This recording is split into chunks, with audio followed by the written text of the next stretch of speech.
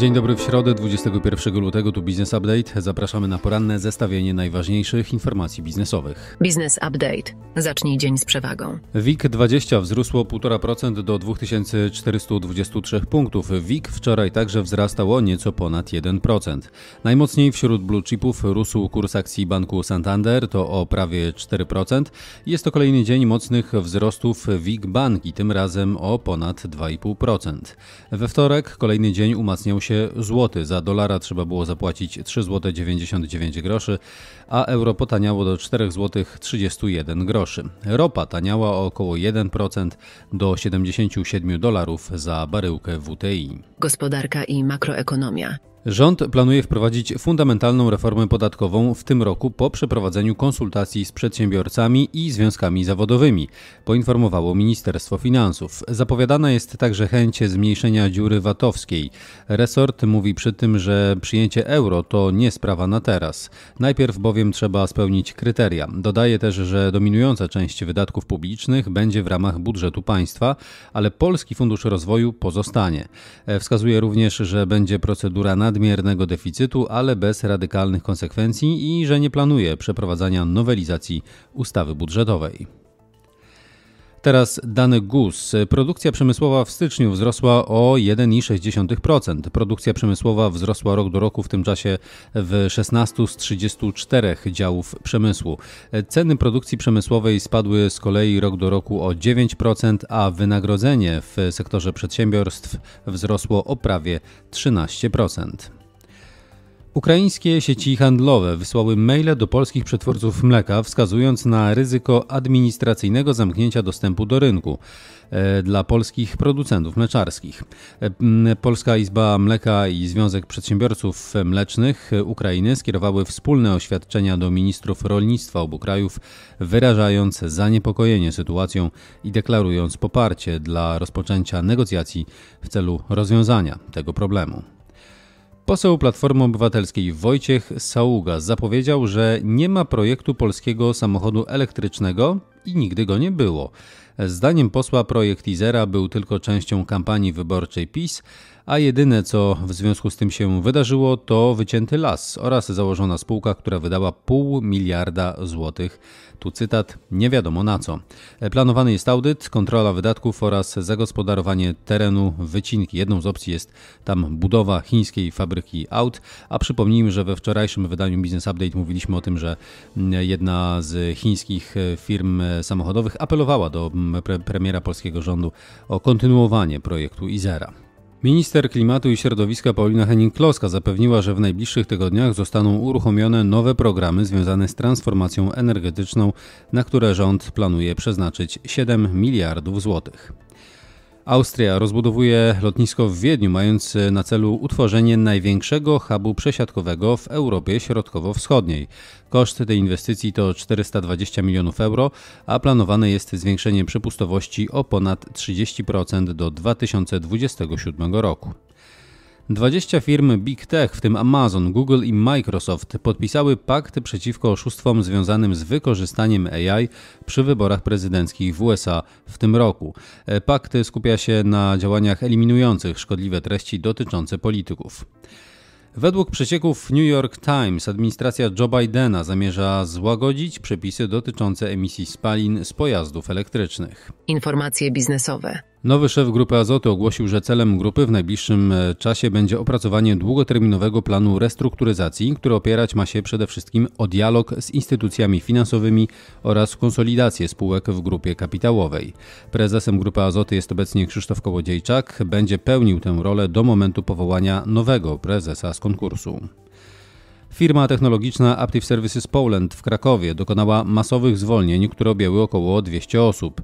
Większość pracowników dowiedziała się o zwolnieniach za pośrednictwem maila, a ci obecni w siedzibie spółki otrzymali kilkadziesiąt minut na opuszczenie budynku. Posłowie Lewicy razem zawiadomili w tej sprawie Okręgowy Inspektorat Pracy w Krakowie. Miele planuje przenieść produkcję pralek z niemieckiej fabryki w Gütersloh do Polski, do Ksawerowa, zamykając przy tym część zakładów w Niemczech i potencjalnie tworząc nowe miejsca pracy w Polsce, donosi Puls Biznesu. A możliwe jest tam nawet 700 nowych etatów. Decyzja ma na celu zaoszczędzenie około 500 milionów euro do 2026 roku w obliczu zmian gospodarczych.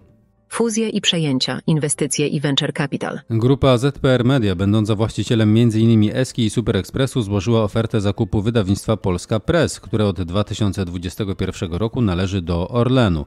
Według informacji przekazanych przez e, portal Press, negocjacje już się zaczęły, a obecnie trwa badanie due diligence. Krajowy rynek Venture Capital zyskuje nowe fundusze, z których część pochodzić ma z nieuruchomionego jeszcze programu Fundusze Europejskie dla Nowoczesnej Gospodarki. Pula przekroczyć może miliard złotych, opisuje Puls Biznesu.